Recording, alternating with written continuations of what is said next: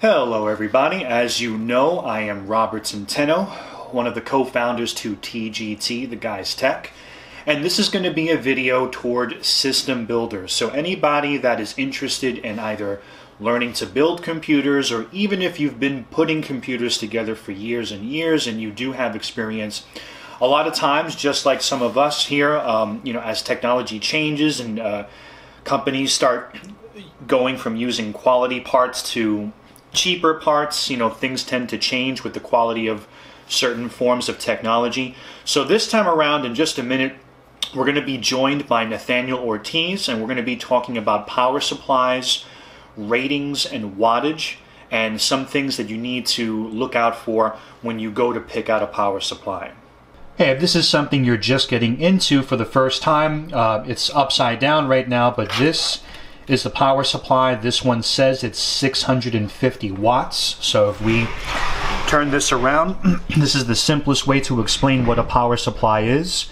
Basically, when you plug your computer or your desktop into the wall, into a wall outlet, that plug is connecting into the power supply.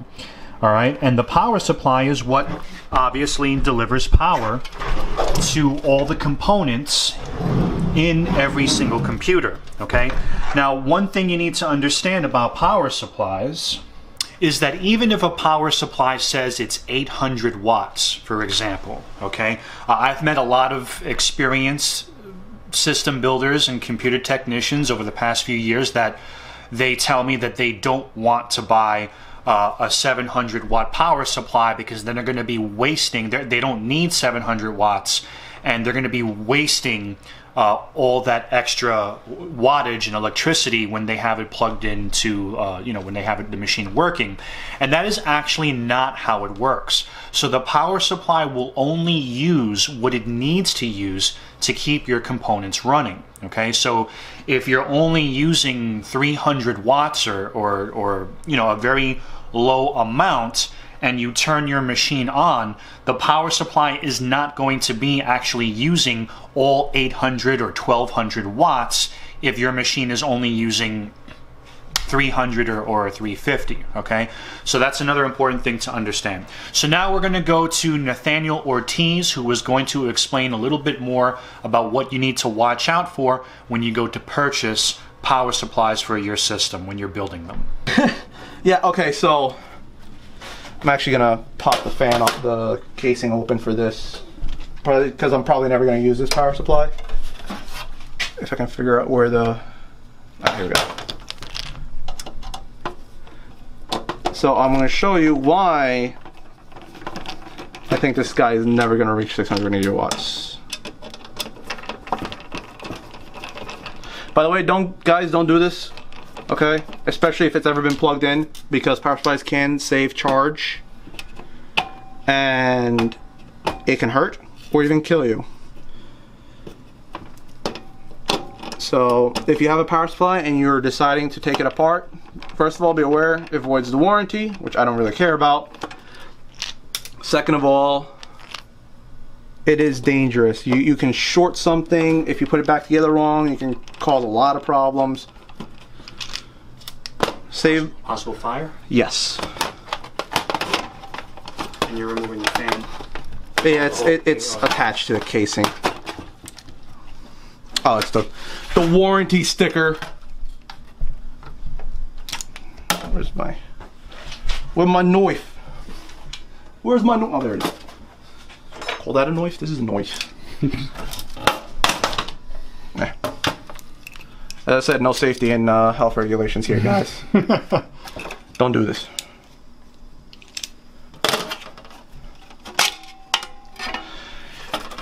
Alright.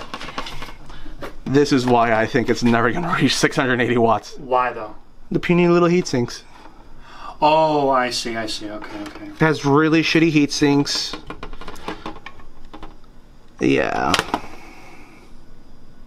I mean, it has nice capacitors, but it it's just very lackluster. Like there's no way this thing is actually going to reach that voltage, uh, that wattage, without something failing. So even at 80%, you, you don't think it would do the... As I said, 400, 450 is probably going to be the peak. Wow. on this before you start getting into territory which you do not want to get to. What's the point of them putting 680 on the box though? Like why? Because people will buy it. now, nobody out there get triggered, but people are stupid. All right, when they buy things and they see a bigger number on it, they think it's better, or because it's heavier, it's better. But does that 680 actually mean anything? I mean, is there at any point can this power supply? Oh yeah, it'll definitely do 680 at some point before it catches fire. Oh, I see, I see. So in other words, if you have serious hardware hooked up to this thing, Don't get a twenty dollar power supply. don't. Right, right, right, right. Okay, okay. Um, remember, guys, the power supply is connected to everything. Your power supply blows, and it's a good quality one. Might not take everything with it. It's a shitty one like these. It's gonna take some stuff with it, if not catch fire. Um, I remember a story of one of my coworkers. Remember Jose? Yes. He had a Oh, didn't he have the in- the inland one? yeah. um, he said that because he had uh, some high power consumption stuff on there. I think he had two 7870s on it or something like that, or equivalent of. And the power draw reached the point where the power supply suddenly started blowing its caps. Holy shit. He said it sounded like gunshots in his room. so, I mean, okay, so these shitty little brands are okay for like your home desktop, like a Dell or an HP or You're just one of gonna those. open up Microsoft Word or Notepad, right? Yeah, if it's an office computer, go ahead because that watch really won't mean anything. It- And for people who think that oh, because it's 680 watts, it's going to use 680 watts, it doesn't. Right. It only uses the power it draws right, right. plus the uh, loss. Right. And That, that's another good point too, because I've had customers tell me that uh, they're not going to buy a 700 watt power supply because then they're wasting 700 watts. And I try to explain to them that the power supply is not actually using 700 watts. It's only using what it needs to in order to operate the hardware on the machine.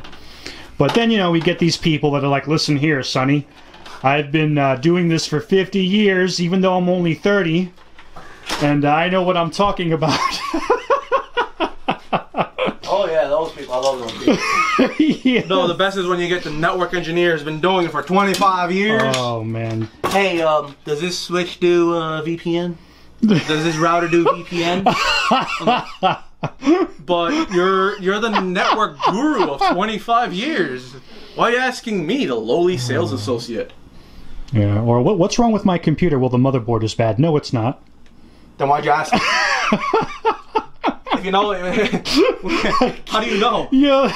so explain explain why the the wattage rating on the box would not be accurate. Okay, so for those not too familiar with power supplies or for a refresher, there's ratings.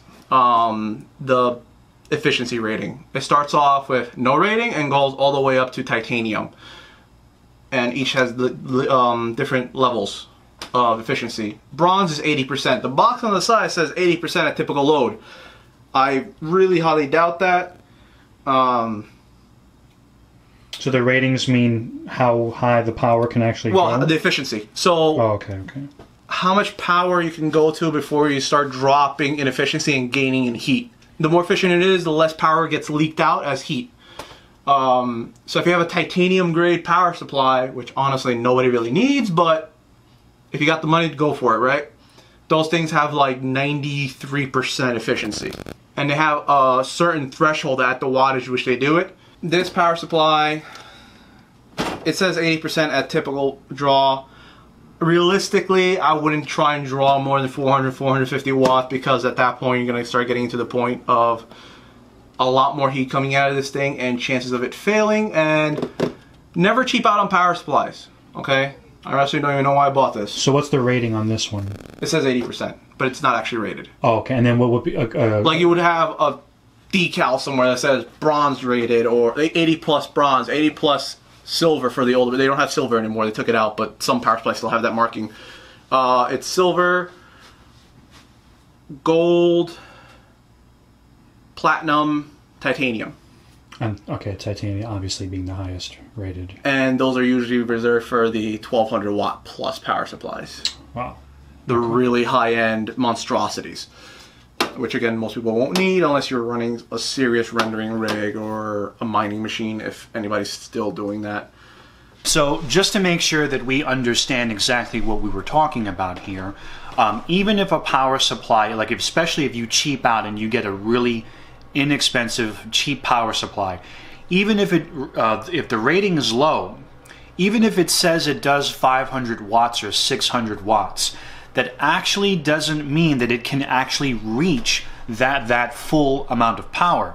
And you've got to be really careful because if you do, if you do have some heavy hardware hooked up to a low rated cheap power supply and you actually push the power supply too close to that limit, you're actually endangering the components on your machine because then at that point it's not guaranteed unfortunately it's it's all marketing right? And it's not guaranteed that it's actually going to be safe for the components in your machine to be pushing uh, a less expensive power supply t- toward its limits. And you, you'll have issues where the power supply will die and as Nate was stating if it if it does go out there's no way of telling how it's going to go down. So the power supply could just die if you're lucky.